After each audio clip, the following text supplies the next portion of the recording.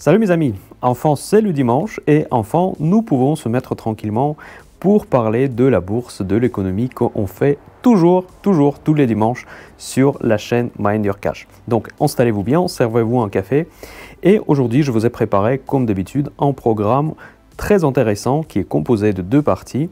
La première partie, ce sera consacrée au trimestriel pour pouvoir dénicher quelles sont les entreprises qui ont publié les meilleurs résultats. On va parler des GAFAM, on va parler aussi des entreprises françaises, on va parler des entreprises qui ont baissé beaucoup. Est-ce que c'est un moment, c'est une opportunité d'acheter ou pas?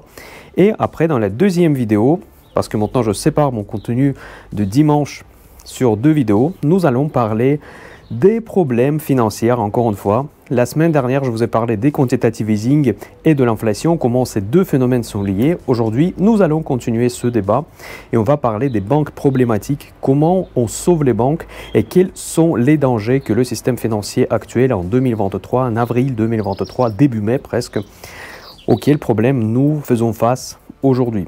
Avant de commencer de regarder ces vidéos, n'oubliez pas mettre un like s'il vous plaît mes amis parce que c'est très important pour soutenir la chaîne Mind Your Cash. J'espère que, que, les vidéos vous plaisent. Donc partagez cette vidéo avec vos amis qui s'intéressent à la bourse et la finance. Et je vous rappelle que Mind Your Cash c'est également les abonnements premium et la formation Option Invest parce que je suis spécialisé en trading d'options.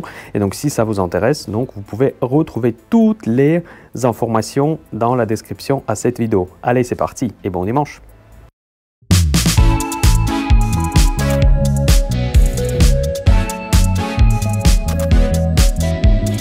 Dans cette vidéo de Café de Dimanche, je voudrais me concentrer sur les trimestriels. Nous sommes euh, fin avril 2023, on est en pleine saison des trimestriels et cette semaine, je pense, qu'était la plus importante en termes des publications qui peuvent impacter les tendances de marché. Je vais très rapidement faire un tour de notre tableau de bord que nous suivons euh, régulièrement toutes les semaines dans les cafés du dimanche pour comprendre dans quelle situation euh, globale, quelle situation macro et de point de vue tendance nous sommes aujourd'hui. Donc les marchés restent très très haussiers. À la fois les trois indices américains et l'indice français se, se, performent très bien cette semaine. Donc l'indice français il est presque à l'équilibre.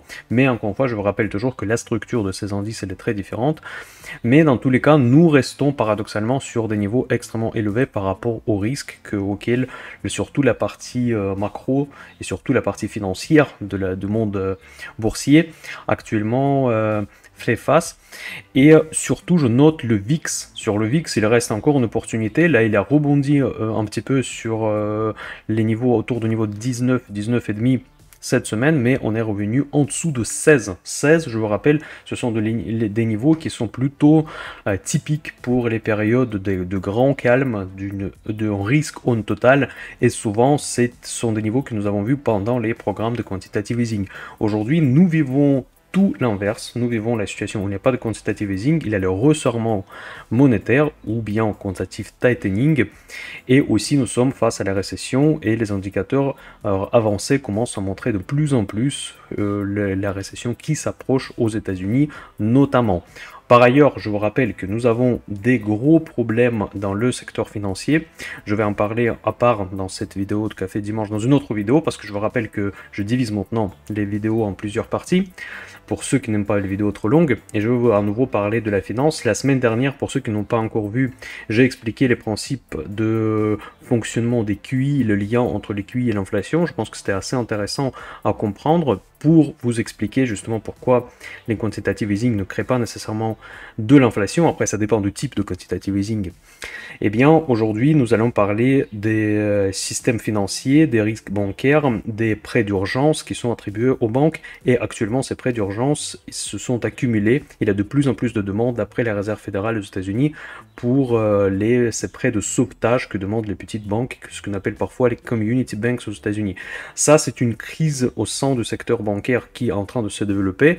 Le marché est au courant que ça, que ça se passe comme ça depuis euh, la, faillite de Silicon Valley Bank. Actuellement, il y a des euh, jeux de cache-cache entre le gouvernement américain et euh, euh, le, First Republic Bank, mais hein, dans tous les cas, il y a un problème dans ce système. Pour l'instant, ce problème n'est pas du tout pricé, même le contraire, par les marchés financiers, et on peut le voir sur tous les indicateurs qui sont largement dans le vert.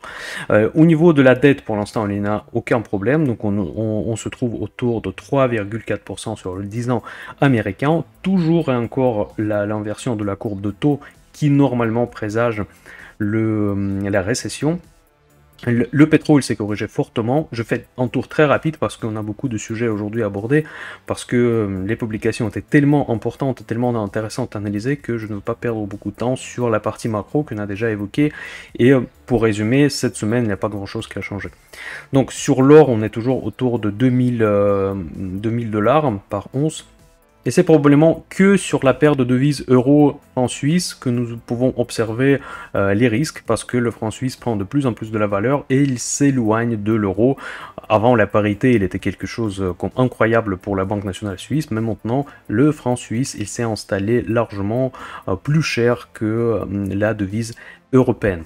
Voilà, on a fait un tour très rapide sur la partie macro très important à comprendre ce qui se passe de point de vue d'indice pour avant de passer sur des entreprises concrètes. Les entreprises qui ont publié cette semaine, principalement c'était les GAFAM. On va parler aujourd'hui des entreprises américaines les plus importantes et après nous allons parler des entreprises françaises qui sont éligibles au POA parce que je sais que la plupart d'entre vous ont les POA et donc du coup c'est surtout ce qui se passe sur le marché français nous intéresse avant tout.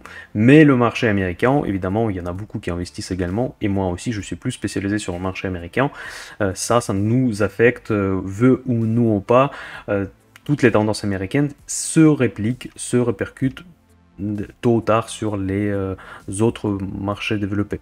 Voilà, donc qu'est-ce qu'il y avait d'important, quelles ont été les publications les plus importantes cette semaine? On va regarder jour par jour. Voilà, et à partir de mardi, les choses intéressantes commencent parce que c'est le jour quand les GAFAM, les fameuses... Euh, 5 entreprises les plus grosses valorisations au monde qui ont commencé à publier leurs résultats. Évidemment, l'intérêt est particulier toujours envers ces entreprises parce que c'est elles souvent qui déterminent les tendances. Donc on voit que les deux géants de intelligence artificielle, entre autres le des systèmes de recherche, bon, ils font beaucoup de choses, donc c'est Microsoft et Google. Google est les je vous rappelle, sous un nom de Alphabet. Il y a l'action A et l'action C en fonction si vous voulez d'une action avec le droit de vote ou sans droit de vote. Microsoft, il n'y a qu'une seule action et les deux ont surperformé. Après, le message qui n'était pas le même. Donc toujours le marché a arbitré euh, en faveur de Microsoft parce que les technologies Microsoft en termes d'intelligence artificielle et leur partenariat avec OpenAI, le créateur de ChatGPT, il rassure les marchés. Donc les, investisseurs aujourd'hui, ils ont envie d'acheter la thématique de l'AI, de l'intelligence artificielle, et ils veulent investir dans le leader. Après, c'est un débat un petit peu philosophique si vous voulez, parce que ChatGPT, ça marche bien, mais est-ce que la solution de Google, elle marche moins bien? C'est vrai que lors de la présentation, ils ont eu des bugs, c'était assez... Euh, Dommage de voir comment ça s'est passé. Et donc du coup, aujourd'hui, Google encaisse un petit peu les conséquences de son retard et son échec des présentations de leur euh, système d'intelligence artificielle. Après, je pense qu'on peut quand même faire une certaine confiance à l'entreprise comme Google, parce que si il y a eu un échec au début, ça ne va pas forcément dire que la, la guerre est perdue. Mais dans tous les cas, le hype autour de l'AI, il est vraiment concentré actuellement sur l'action Microsoft. Et je vous rappelle que pour Microsoft, euh, c'était une très bonne nouvelle pour moi. Généralement, c'était une semaine assez positive pour moi. Il y a eu de belles surprises sur les actions dont la pondération dans mon portefeuille reste toujours très élevée. Et particulièrement élevée, cette pondération est pour l'action Microsoft que nous allons analyser au tout début de cette vidéo. Nous allons comme d'habitude commencer par l'analyse fondamentale. Nous allons regarder euh, à quoi ressemblent les, ratios de Microsoft au jour actuel. Donc évidemment, on s'attend, vu que c'est une entreprise hype, une entreprise qui est positionnée sur des euh, secteurs les plus, euh, les plus recherchés par les investisseurs, on ne s'attend pas à avoir des ratios faibles. Donc évidemment, il faudra Gardez en tête que cette, entreprise, ayant des, euh, ambitions comme ça, ayant déjà du concret et des technologies qu'elle propose au jour actuel, ne sera jamais valorisée bon marché. Donc on ne va pas la comparer par rapport à des valeurs value. Il faut toujours garder en tête que les ratios financiers, c'est toujours par rapport au cas concret. Donc les, mêmes normes des ratios ne s'appliquent pas à des différentes entreprises. D'ailleurs, pour ceux qui sont intéressés pour apprendre un petit peu plus la finance, j'ai lancé une euh, chaîne Shorts où je fais des courtes vidéos pour présenter les différents ratios financiers. Donc vous pouvez trouver tous les liens dans la description comme d'habitude si vous voulez vous abonner à ma nouvelle chaîne des Shorts. Voilà, Guru Focus, le score, score qui accumule plusieurs ratios financiers donne 98 sur 100, donc évidemment c'est une très très belle valeur. Et sur les différents axes croissance valorisation, momentum technique et euh, santé financière, sauf le momentum technique, évidemment, parce que l'action, elle est très très chère. Donc tout le reste, c'est au top. Ensuite, nous regardons les ratios de valorisation. Donc Forward PE 28. Vous savez, mes amis, c'est pas très cher malgré le cours de bourse euh, qui peut paraître élevé quand on regarde les graphiques. Quand même, cette entreprise, de point de vue rapport de son prix par rapport aux euh, bénéfices par action attendus par les analystes. C'est ça la différence entre forward PE et PE tout court.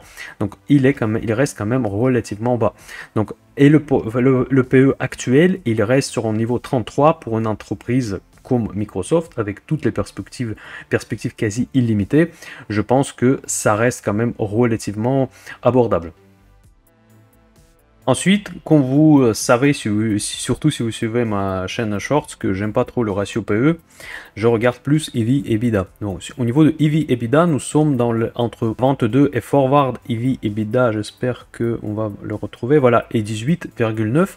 Ce sont les normes pour les entreprises de croissance et les entreprises qui se portent très bien de point de vue opérationnel. Donc ce n'est pas cher, donc si vous regardez par exemple les valeurs de luxe français, vous allez avoir les EV EBITDA bien plus élevés que ça. Donc pour Microsoft, je ne pense pas que même EV euh, EBITDA actuel, qui dans les faits, au jour actuel, 22, presque 23, ça va. Mais quand on parle de 18,9, bon, on va arrondir à 19, c'est vraiment quelque chose d'intéressant. Donc ça reflète plus ou moins la tendance entre PE et forward PE. Donc je pense qu'au niveau de dette, il n'y a pas spécialement de problème parce que la différence principale à ces deux ratios, que euh, tient compte de la dette, tandis que le, ratio price-earning ne tient pas compte de la dette. Donc pour moi, c'est vraiment un paramètre super important.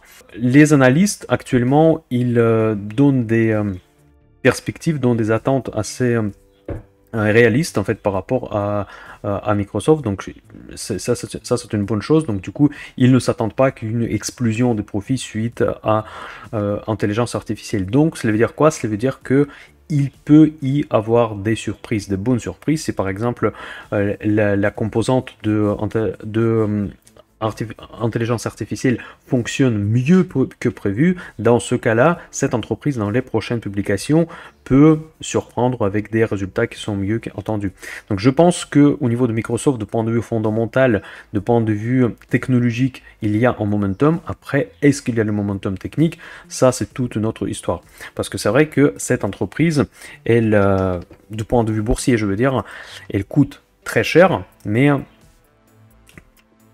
comment on va valoriser une croissance? C'est ça la question que se pose parce que depuis peu, depuis euh, le, partenariat avec euh, euh, OpenAI, on ne peut plus appliquer les mêmes paramètres de valorisation parce qu'il y a un nouveau paramètre qui rentre en jeu, c'est le succès ou pas le succès de l'intelligence artificielle au sein de leur système de recherche. Donc est-ce qu'ils vont détrôner Google et devenir un des acteurs majeurs dans le système de recherche? Parce qu'aujourd'hui, Google est pratiquement le monopole sur tout ce qui est euh, les moteurs de recherche. Est-ce que Microsoft va se lancer dedans? Est-ce qu'ils vont récupérer les parts de marché chez Google? Avant, on ne le pressait pas dans, le prix de l'action Microsoft et cette action, elle évoluait entre 250 je vais arrondir, et 300 euros, euh, dollars. Pardon. Donc aujourd'hui, moi je m'attendais que euh, durablement cette action peut dépasser les 300 euh, dollars, donc ça c'est déjà le cas. Et moi, mon pronostic, si vous voulez, c'est que cette action va rester au-dessus des 300 dollars. Donc si vous pouvez, comme vous pouvez constater qu'en novembre 2020, on était à un niveau 340 dollars déjà, et à l'époque on parlait même pas d'intelligence artificielle, de chat GPT, personne n'a jamais entendu parler, bon, à moins les plus intéressés, ceux qui sont les plus initiés dans ce domaine, mais en tout cas il n'y avait pas des rumeurs de partenariat avec, entre Microsoft et euh, qui que soit dans, dans ce domaine.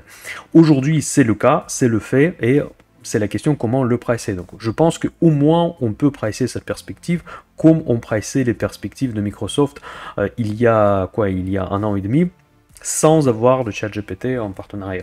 Donc je pense qu'au minimum, on est mieux que c'était le cas pendant, pendant la dernière euh, bull run sur cette action.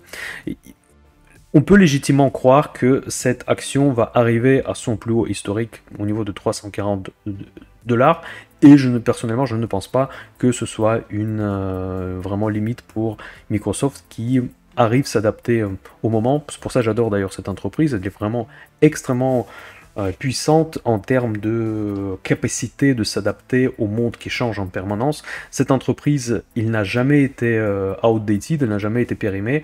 Il y avait un tout petit court moment à la fin des années 2000 quand on avait l'impression qu'il perd un petit peu euh, l'allure, mais c'était une fausse impression parce que Microsoft elle a repris très rapidement euh, de l'avant dans le cloud, dans toutes les technologies qui nous ont accompagnés dans les, années 2010. Maintenant nous sommes dans les années 2020 et dans les années 2020 c'est visiblement l'intelligence artificielle, probablement il y aura le metaverse qui va se rattraper et je pense que Microsoft à nouveau saura s'adapter euh, à ces tendances sachant que visiblement leur business model est bien adapté aux mutations technologiques qui se passent régulièrement dans ce monde. Donc moi je reste très positif euh, sur Microsoft malgré ma grosse position, malgré déjà des profits qui sont assez intéressants. Je la garde et euh, je ne la renfonce pas parce que bon j'ai déjà une position suffisamment grosse et euh, je n'ai pas une idée de me séparer de l'action Microsoft. Je vais tout de suite regarder Google qui a publié aussi des bons résultats mais par contre la l'interprétation des marchés n'était pas la même, parce que le discours n'était pas le même et euh, qui n'a pas rassuré autant les investisseurs. Donc on va regarder boursièrement parlant à quoi ressemble euh, Alphabet du coup. Donc là je vais regarder aussi les ratios comme on a fait tout à l'heure pour Microsoft.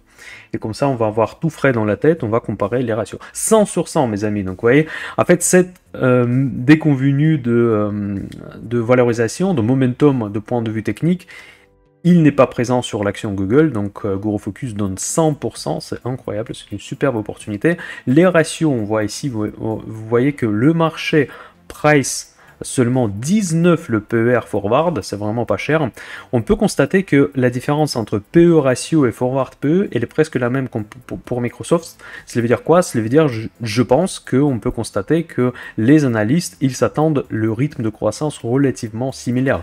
Donc ça, c'est un vraiment très bon point. Euh, puis, EV EBITDA, au niveau de euh, EV EBITDA actuel, on est à presque 15, et forward EV EBITDA, on est à 12,4. Mes amis, je pense que hors la scénario où euh, on nous sommes très négatifs par rapport à Google, euh, en tout cas avec les chiffres opérationnels actuels, c'est une opportunité. Clairement, c'est une opportunité. Mais, et c'est un grand mais, que en cas d'un scénario euh, noir pour Google, où il va être détrôné ou partiellement détrôné par Microsoft sur les moteurs de recherche, tous ces ratios peuvent se détériorer. Parce que PE ratio, cela veut dire quoi? Vous avez price et earning, donc c'est le prix et les bénéfices par action. Si les bénéfices par action commencent à se dégrader, dans ce cas-là, ce ratio va augmenter drastiquement. Et évidemment, le prix va se converger pour rester à peu près dans le même ratio entre 20 et 30, mais par contre, ça va correspondre à un cours bien inférieur au cours que nous observons aujourd'hui sur les marchés. Donc du coup, le pari, quand vous achetez actuellement l'action Google qui, qui semble en premier coup, euh, clin d'œil euh, très très intéressante sur tous les ratios pratiquement, cela veut dire que vous prenez un pari que Google pourra maintenir sa dominance dans les moteurs de recherche et dans ce secteur où il y a évidemment énormément de moites actuellement et qui est en train de être poussé par Microsoft. Donc regardons maintenant l'analyse technique. Sur l'analyse technique, on voit qu'il y a bien évidemment bien plus de problèmes que pour euh, l'action Microsoft, mais on peut constater, si on est un petit peu optimiste, que le trend baissier que nous observons depuis octobre 2021, c'est à peu près le la même période où, l'action Microsoft était à 340 euh, dollars, donc Google était à 150. Donc ce trend semble euh, d'être cassé. On voit qu'on a touché la résistance de 85 dollars. D'ailleurs, dans mes abonnements premium, à ce, à ce stade-là, j'ai euh, choisi l'action Google comme idée dans l'investissement. On était dans les alentours de 90 euh, dollars. Euh, je crois que le mois dernier, c'était une de mes idées de trade long. Malheureusement, je ne l'ai pas fait d'ailleurs, mais bon, c'était une idée de trade, même après ce que moi je fais réellement, ce que je n'ai pas fait, ça c'est mon problème. Euh, mais en tout cas, j'ai parlé de surtout mes euh, ressources, en fait, ressources gratuites, ressources payantes, que à l'époque, quand nous étions dans cette zone-là, que l'action l'action Google, c'était intéressant pour investir.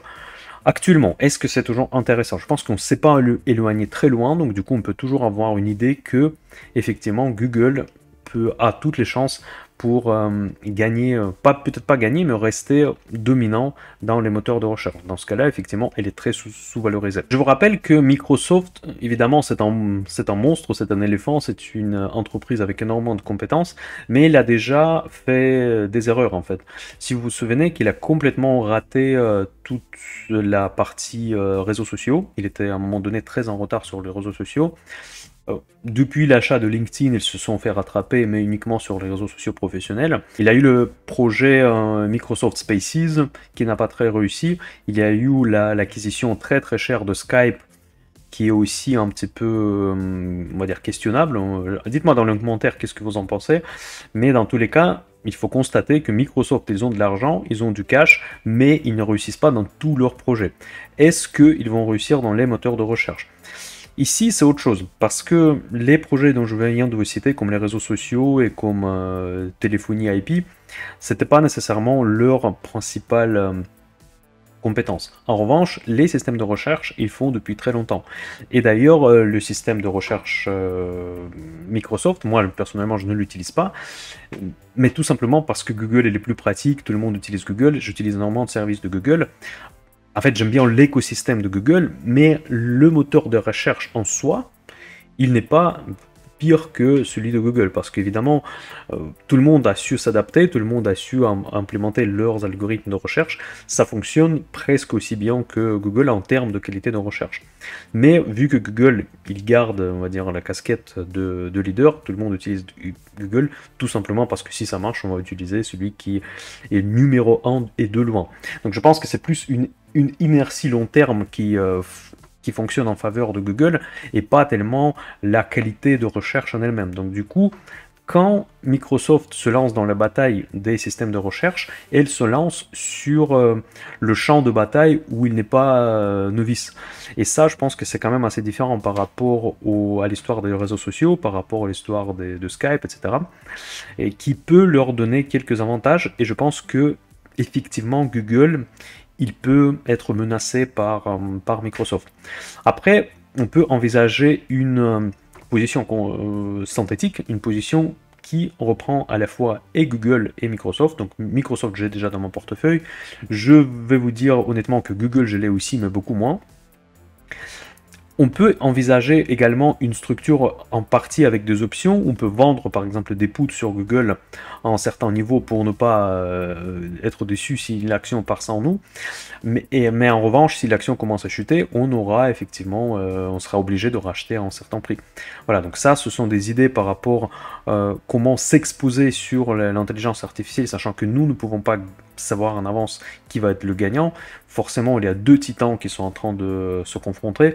Qui va finalement euh, remporter le, palmarès des, euh, des systèmes de recherche c'est très difficile, mais on peut deviner, parce que c'est euh, soit l'un, soit l'autre, c'est une forte probabilité qu'on gagne dans, cette, dans ce jeu, mais dans tous les cas, on ne peut pas le savoir de manière certaine.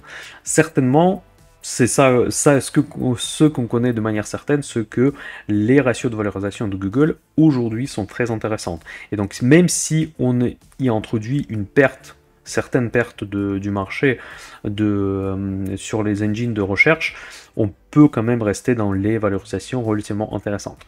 Sauf que, sauf que, et ça ça va vous montrer l'importance de compréhension à la fois de l'analyse fondamentale et de l'analyse technique, que dès que, dès que Google va publier des mauvais chiffres et dès que dans leur communication va apparaître qu'ils perdent du terrain euh, sur le moteur de recherche face à Microsoft, le cours de bourse va chuter immédiatement et les ratios peuvent devenir encore plus bas, encore plus intéressants que nous venons juste de les voir. Donc faites attention quand même qu'il y a aussi cet aspect psychologique que même si on va, on peut se dire légitimement d'ailleurs en plus en analysant ces ratios en disant que même s'ils commencent à perdre 20% de leur marché, le PER va rester quand même assez intéressant, mais ça va pas se passer comme ça en réalité. Donc dès qu'ils vont commencer à perdre le terrain, le marché va exagérer, le marché exagère toujours. Le marché n'est jamais efficient, bon il est très rarement efficient, malgré que certains disent le contraire c'est que euh, il va sanctionner, sanctionner durablement et fortement l'action Google. On a vu ce même phénomène sur l'action Meta, sur laquelle on va passer progressivement, qui a été sanctionné justement pour ses projets dans le metaverse euh, très récemment. On a eu des discussions il n'y a pas si longtemps.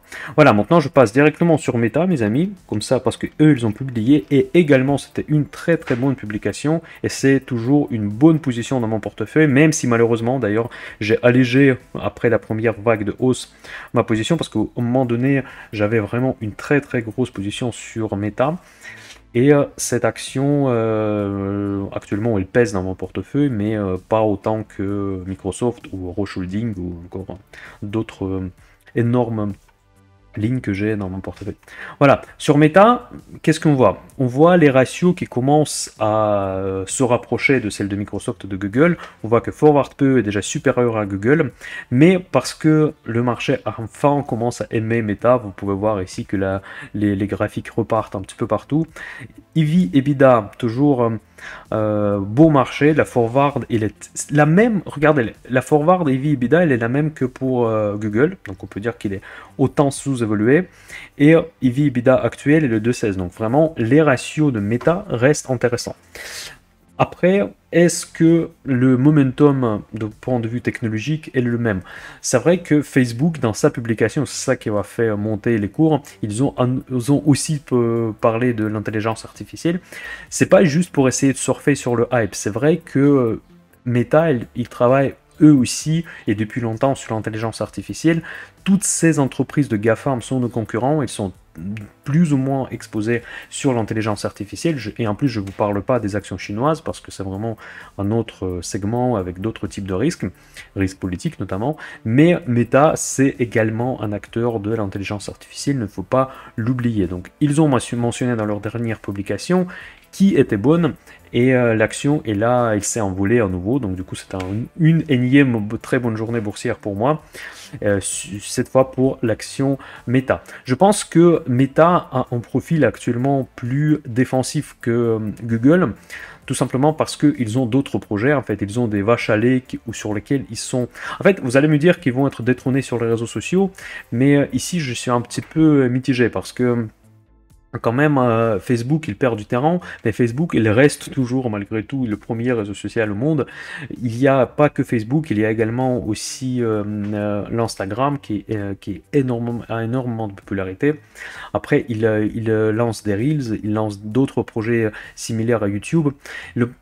L'avantage de Facebook, qu'ils ont énormément, énormément de technologie dans le pipe, et en plus, ils ont un gros investissement dans le metaverse où il y a certains ont euh, jeté l'éponge. On peut dire que ça ne marchera pas.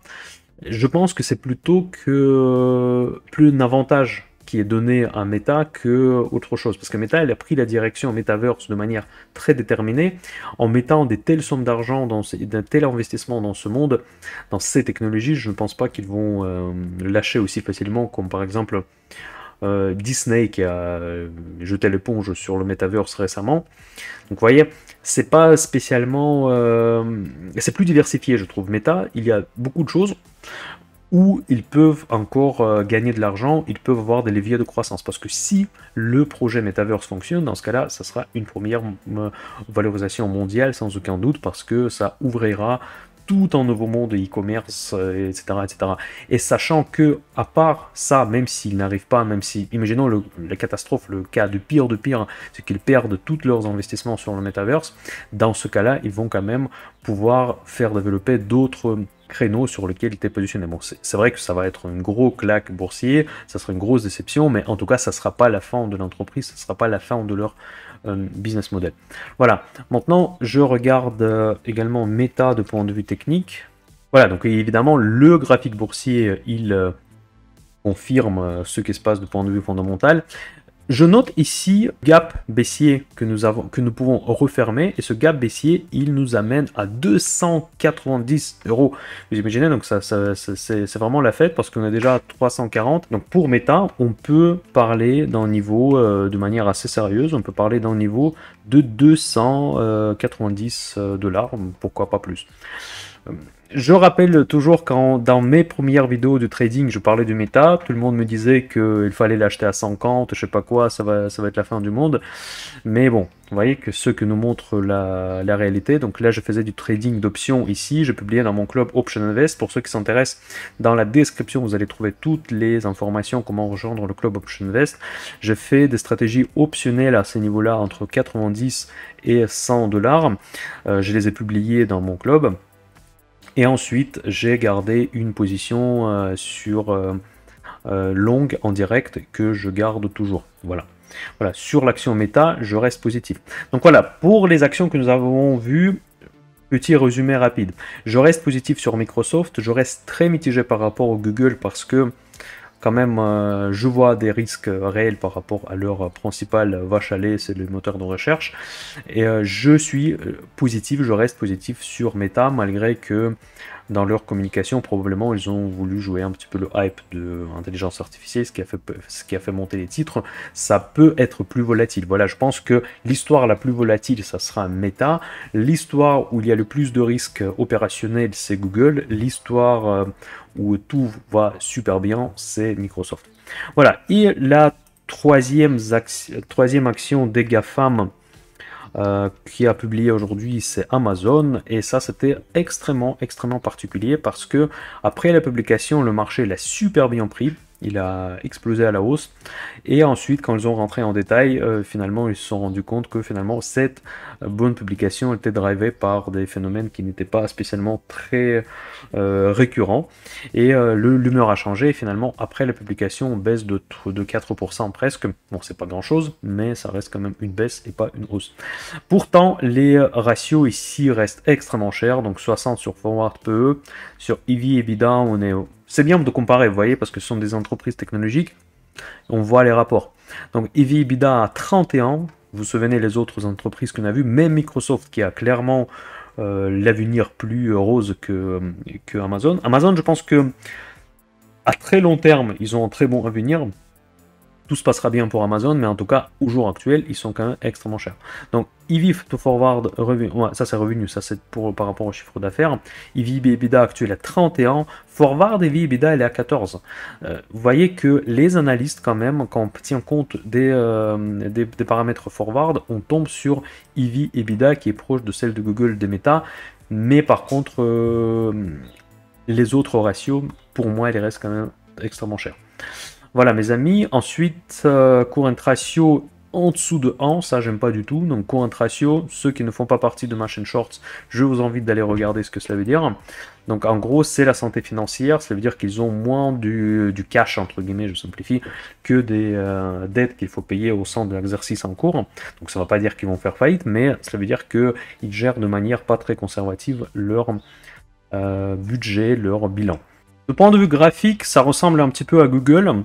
On voit qu'il y a eu une euh, grosse phase de euh, flat marché, donc euh, sideways, entre août 2020 et la chute, début de la chute en avril 2022. Et donc là, actuellement, nous avons consolidé. On a consolidé exactement sur un niveau de 83. 83 dollars et maintenant on est en train de repartir à la hausse à partir de ce niveau. Est-ce que la dernière publication va changer la donne? Je ne pense pas, parce que bon, on était un petit peu mitigé. Pour l'instant, nous sommes sur des euh, euh, ratios qui sont chers, ça ne aide pas la tendance, et euh, avec une petite espoir de revenir dans cette zone-là, mais moi j'ai du mal à croire. J'ai une position sur Amazon, j'aimerais bien, elle est en perte, en fait elle est dans le rouge, mais moi je la garde tout simplement parce que dans le long terme, je ne vois pas de problème pour l'action Amazon, je préfère la garder. Pour moi, ça ne me gêne pas. Je, même s'il est en perte, je suis prêt d'attendre. Après, chacun décide pour lui-même. Aujourd'hui, si j'avais pas de position, je ne penserais pas que j'achèterais cette action-là. Mais vu que je l'ai déjà, autant d'y rester parce que sinon, euh, j'ai pas envie de rater non plus le rebond. Après, c'est juste une question combien de temps il faudra attendre. Est-ce qu'il faudra attendre un an ou il faudra attendre 10 ans pour qu'elle revienne à la normale? Ça, c'est une question ouverte. Donc chacun gère comme il veut, mais moi je garde pour l'instant Amazon, mais je n'achète pas, je ne renforce pas. J'ai presque oublié, c'est une ligne, en de mes lignes fondamentales de mon portefeuille. Je l'ai acheté au cours auquel je l'ai acheté. Et après, je ne vois pas d'opportunité pour le moment pour la renforcer. Je vous ai promis de parler des actions françaises, il y en a pas mal d'intéressantes qui ont publié cette semaine. Kering, euh, c'est l'entrée de gamme de luxe, il a déçu, moi personnellement j'aime pas cette valeur, j'aime pas leur brand, je pense que si on veut investir dans le luxe, autant d'investir dans le vrai luxe, et donc euh, Kering, euh, je sais pas si vous regardez, dites-moi dans les commentaires, mais cette valeur ne m'intéresse pas. Carrefour, ça ne fait pas partie non plus des secteurs qui m'intéressent, en revanche Téléperformance, je l'ai dans un de mes ratio dans mes screeners pardon, technologiques. Et ça, c'est relativement intéressant à regarder parce que l'action à nouveau, elle a chuté euh, en bourse. Là, on a déjà vu ça il n'y a pas longtemps. Cette action, elle est très volatile. Vous voyez comme elle fait un petit peu les, euh, les pluies, la pluie des bougies rouges.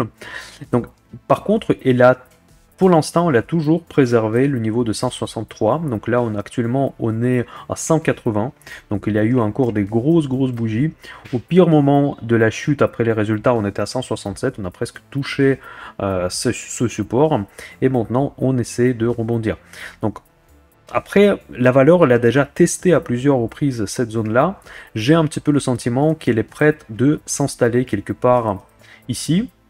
J'aime bien que TradingView que j'utilise, il garde un peu les dessins, comme ça c'est pratique de revenir après euh, quelques mois et voir ce que je pensais et ce, que je, euh, ce qui s'est passé réellement. Et donc là, je pense qu'il va plutôt rester ici. C'est pour ça que je ne précipite pas de l'acheter. Cette valeur, il a des ratios quand même relativement chers. On va les revoir tout à l'heure, évidemment, euh, suite à la chute boursière. Mais je ne pense pas non plus qu'il va chuter beaucoup plus loin en dessous de cette zone. Maintenant, nous allons jeter un œil sur les euh, ratios. Guru Focus donne 92 sur 100, ce qui est vraiment pas mal. Et les les ratios PE forward PE nous sont très bas, mes amis. Regardez, 17,4 et forward, il est à 12. Donc c'est vraiment intéressant pour une entreprise technologique. Forward EV EBITDA, elle est à la casse. EV EBITDA 8,4. EV forward EBITDA 7. Vraiment, c'est rien du tout. Je, crois que price to sales à l'époque, il était cher. Là, il est à 1,3. Donc je pense que Téléperformance, c'est une entreprise actuellement qui est très bien valorisée. Ensuite, il faut regarder quand même les, la, on va dire, le potentiel de croissance. Mais si on regarde uniquement les ratios, et même les ratios de rentabilité ROIC 10, c'est pas énorme, c'est moins que les GAFAM qu'on a vu tout à l'heure, mais en tout cas, ça reste relativement intéressant. Voilà, donc je donne euh, le go pour le, on va dire, euh, le go. J'ai pas le droit de donner des conseils d'investissement, encore une fois, je vous répète que je ne suis pas, je n'ai pas la casquette d'analyste financier, vous devez euh, décider vous-même. Évidemment, je ne donne aucune recommandation, je dis juste mon sentiment par rapport à certaines valeurs, et ça n'engage que moi. courant ratio, et les contrairement à Amazon, est le supérieur à 1, donc là, on est pas mal. Donc au niveau des fondamentaux, cette action, elle est intéressante. Après, je sais pas pourquoi ça montrait en dollars. Donc visiblement, c'est celle qui est cotée euh, euh, aux États-Unis. Donc c'est quand même bon. J'espère que je suis sur la bonne valeur. Normalement, oui. De point de vue technique, je pense que si je reviens au graphique, cette valorisation, ces ratios qui, sont déjà intéressants, euh, si l'action glisse encore plus bas, dans ce cas-là, ça va être vraiment la casse. Je ne vois pas pourquoi elle devrait être euh, avoir des multiples aussi bas. Donc je pense que le fondamental, dans ce cas-là, va, soutenir les cours. Donc ceux qui sont intéressés par l'action téléperformance, ce n'est pas nécessairement une mauvaise idée de se tourner vers là. Ensuite, Dassault Systems, euh, mieux que prévu. Donc ça, c'est le ça c'est l'informatique aussi, donc euh, la technologie. Je le confonds souvent avec Dassault Aviation qui est euh, la défense. Après Orange, mieux que prévu. D'ailleurs, Orange, ça faisait partie de mes euh, choix dans Mind du Cash Premium, dans mes abonnements. Et je l'ai choisi. Je n'ai pas le droit de dire le mot conseiller parce que c'est pas le conseil d'investissement, même s'il s'agit des, des abonnements premium. Euh, je l'avais évoqué, je proposais cette valeur quand elle était autour de 9 euros. Actuellement, elle est bien plus haut, elle est à 12 presque, donc vous voyez.